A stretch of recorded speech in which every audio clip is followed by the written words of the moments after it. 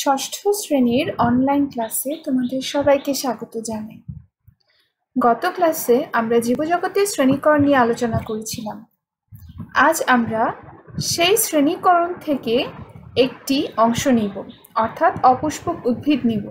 আচ্ছা তাহলে আমরা একটু ব্রেনস্ট্রম করে আসি, চলো। গত ক্লাসে আমরা কি পড়েছিলাম? জীবজগৎ কি? জীবজগতের জীবের প্রধান বৈশিষ্ট্য কি? এবং এর শ্রেণীকরণ কীভাবে করা হয়? ঠিক আছে? আমরা পড়েছিলাম পাঁচটি রাজ্য নিয়ে মনেরা প্রোটিস্টা ফানজাই, প্ল্যান্টি, অ্যানিমেলিয়া। তাই না? আচ্ছা বিভিন্ন জীবের বৈশিষ্ট্যের উপর ভিত্তি করে তাদেরকে পাঁচটি রাজ্যে বিভক্ত করা হয়েছে।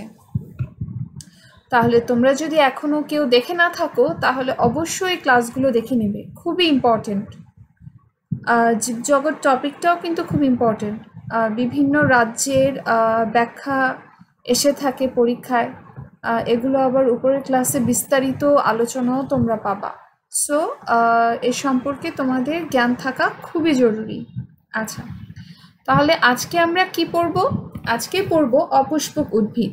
অপুষ্পক উদ্ভিদ সাধারণত খুব সহজভাবে যদি তুমি চিন্তা করো অপুষ্পক কথাটার মানে কি? পুষ্প মানে বলতে আমরা বুঝি ফুল, তাই না? তাহলে অপুষ্পক মানে কি? অবশ্যই যার ফুল নেই। আচ্ছা শুধুমাত্র যে ফুল নেই এমনটা কিন্তু না। আচ্ছা অপুষ্পক উদ্ভিদ তাহলে কি হবে? উদ্ভিদের মধ্যে কিছু সংখ্যক উদ্ভিদ, ফুল ও ফল হয় না। এরা স্পোর বা রেণু সৃষ্টির মাধ্যমে প্রজনন সম্পন্ন করে, এদেরকে অপুষ্পক উদ্ভিদ বলে। এখন আমাদের প্রশ্ন হলো, স্পোর বা রেণু কি? আর প্রজননটাই কি? আচ্ছা। আমরা যদি ছোট একটি উদাহরণ নেই, তাহলে খুব সহজেই আমরা বুঝতে পারব যে স্পোর কি এবং প্রজনন কি। আচ্ছা। একটি উদ্ভিদ থেকে আরেকটি উদ্ভিদ পাওয়ার যে প্রক্রিয়া, ঠিক আছে? সে সমস্ত প্রাকৃতিকভাবে পাওয়ার যে প্রক্রিয়া, সে প্রক্রিয়াকে প্রজনন বলছে। প্রজনন হচ্ছে এমন একটি প্রক্রিয়া যার মাধ্যমে আমরা একটি মাতৃ উদ্ভিদ থেকে একটি শিশু উদ্ভিদ পেয়ে থাকি বা ছোট গাছের চারা পেয়ে থাকি, ঠিক আছে? এভাবে আমরা প্রজনন কি সেটাকে ব্যাখ্যা করতে পারি। আচ্ছা তারপর বলেছিলাম যে রেণু কি? এখানে যে আমরা মশ দেখতে পাচ্ছি, মশ উদ্ভিদের মাথায় দেখো বাদামি রঙের দেখো এই জিনিসগুলো থেকে ছোট ছোট কি বের হচ্ছে। কণার মতো বের হচ্ছে না, এগুলোই হচ্ছে স্পোর বা রেণু বলা হয়। এই কণাগুলোর মাধ্যমে আমরা নতুন উদ্ভিদের চারা পেয়ে থাকি। এদের স্বেচ্ছেতে ইট, মাটি, দেয়াল ও গাছের বাকলে জন্মাতে দেখা যায়। এছাড়া পানিতে ভাসমান অবস্থায় দেখা যায়। আচ্ছা আমি মনে হয় স্কিপ করেছি, কতটুকু পড়েছিলাম? অপুষ্পক উদ্ভিদ বলে। ওকে। এতটুকু পড়েছিলাম। অপুষ্পক উদ্ভিদের সংজ্ঞা পর্যন্ত পড়েছিলাম। আচ্ছা এদের দেহে, এদের অনেকের দেহকে মূল কাণ্ড পাতায় বিভক্ত করা যায় না, তাই এরা সমাঙ্গদেহী উদ্ভিদ। এখন প্রশ্ন আসতে পারে, সমাঙ্গদেহী উদ্ভিদ বলতে কি বুঝো? যে সকল উদ্ভিদের দেহকে মূল কাণ্ড ও পাতায় বিভক্ত করা যায় না, তাদেরকে সমাঙ্গদেহী উদ্ভিদ বলে, যেমন স্পাইরোগাইরা। স্পাইরোগাইরার আরেকটি আমি চিত্র এখানে দিয়েছি, দেখো। দেখতে অনেকটা দড়ির মতো না? এখানে কি তুমি কোনটা কাণ্ড বা কোনটা পাতা সেগুলো কি বিভক্ত করতে পারছ?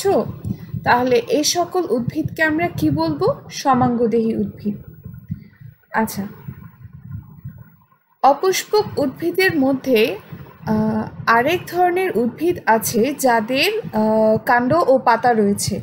তবে সাধারণত উদ্ভিদের ন্যায় মূল নেই। মূলের পরিবর্তে কি আছে? রাইজয়েড আছে। মশের উদ্ভিদ থেকে আমরা দেখতে পাচ্ছি যে তার কি আছে? পাতা আছে এবং হচ্ছে দেহ আছে, তাই না? কিন্তু আম গাছের শেকড়ের মতো বা মূলের মতো যত মোটা শেকড় থাকে, সেগুলো কি এখানে আছে? না, নেই। এখানে আমরা দেখতে পাচ্ছি যে সুতার মতো কিছু অংশ, তাই না? এগুলোকে আমরা বলব রাইজয়। অর্থাৎ মূলের পরিবর্তে তারা এই সুতার মতো পাতলা এই অংশগুলো দ্বারা হচ্ছে মূলের যে কাজ, সে কাজ সম্পাদন করে।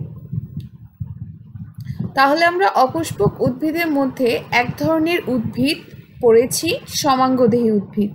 সমাঙ্গদেহী মানে কি? যাদের দেহকে মূল কাণ্ড পাতায় বিভক্ত করা যায় না। একদম দড়ির মতো দেখতে, তাই না?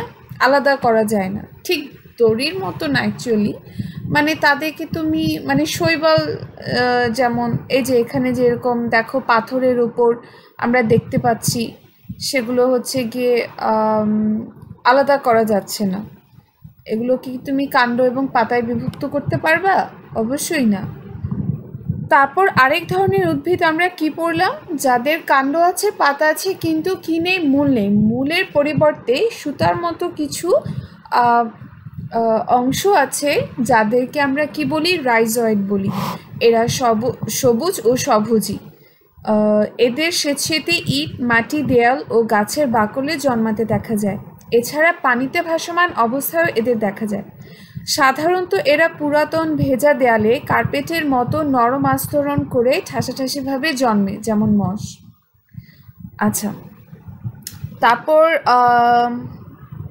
অপুষ্পক উদ্ভিদের মধ্যে আরও এক ধরনের উদ্ভিদ আছে, যাদেরকে, যাদের দেহকে তুমি মূল কাণ্ড এবং পাতায় বিভক্ত করতে পারবা। যেমন একটা আম গাছ দেখলে কিন্তু তুমি আইডেন্টিফাই করতে পারবা।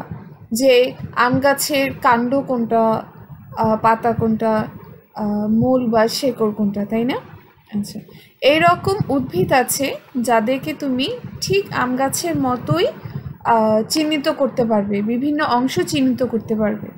এবং যেহেতু তারা বিভিন্ন অংশে খুবই সুস্পষ্টভাবে তুমি তাদেরকে চিহ্নিত করতে পারবা, সেজন্য তারা অ্যাকচুয়ালি অপুষ্পক উদ্ভিদের মধ্যে সর্বোন্নত উদ্ভিদ।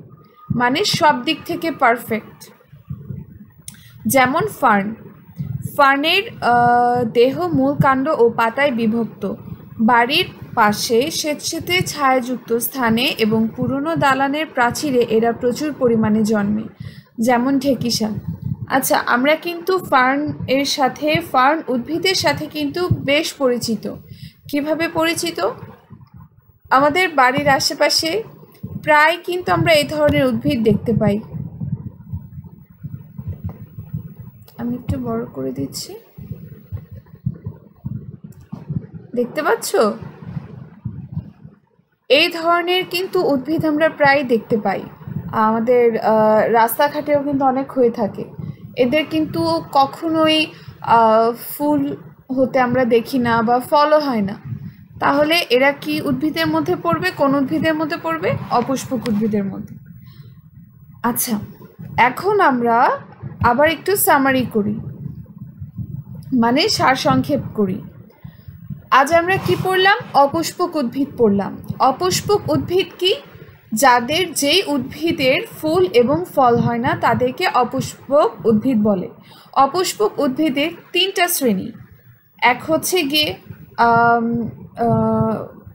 তোমার দেহকে মূল কাণ্ড এবং পাতায় বিভক্ত করা যায় না, অর্থাৎ সমাঙ্গদেহী আরেক ধরনের আমরা পেয়ে থাকি যাদের মূল এবং কাণ্ড আছে কিন্তু সরি কাণ্ড এবং পাতা আছে কিন্তু মূল নেই, অর্থাৎ মূলের পরিবর্তে রাইজয়েড দিয়ে তোমার মূলের কার্য সম্পাদন করে। আর তৃতীয় ক্যাটাগরিতে পরে হচ্ছে গিয়ে সর্বোন্নত উদ্ভিদ যাদের দেহকে মূল কাণ্ড এবং পাতায় বিভক্ত করা যায়। ঠিক আছে? তাহলে আজ আমরা অপুষ্পক উদ্ভিদ পর্যন্তই পড়ব। আগামী ক্লাসে সপুষ্পক উদ্ভিদ নিয়ে আলোচনা করব।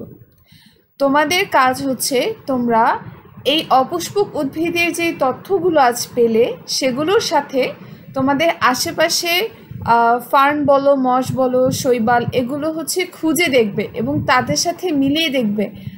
তাহলে কি হবে? জিনিসগুলো তোমাদের জন্য আরও সহজ হয়ে যাবে। তোমরা আরও সহজভাবে সেগুলোকে বুঝতে পারবা। আর সব থেকে গুরুত্বপূর্ণ কথা হচ্ছে তোমরা মনে রাখতে পারবা। কারণ আমরা যখন কোনো তথ্য বইয়ে পড়ি সেটা আমাদের আম, ক্ষণিকের জন্য খুব অল্প সময়ের জন্য আমাদের মনে থাকে। কিন্তু সেটা যদি আমরা বাস্তবে যদি আমরা সেটাকে দেখি বা বাস্তবে যদি সেটাকে পর্যবেক্ষণ করি, তাহলে ওই ধরনের তথ্যগুলো আমাদের বেশি মনে থাকে। আর কারোর যদি কোনো প্রশ্ন থাকে, অবশ্যই আমাকে কমেন্ট করে জানাবে অথবা আমার সাথে যোগাযোগ করবে। ওকে তাহলে ভালো থাকো, সুস্থ থাকো, আর ভালোভাবে পড়াশোনা করো। अल्लाह हाफिज़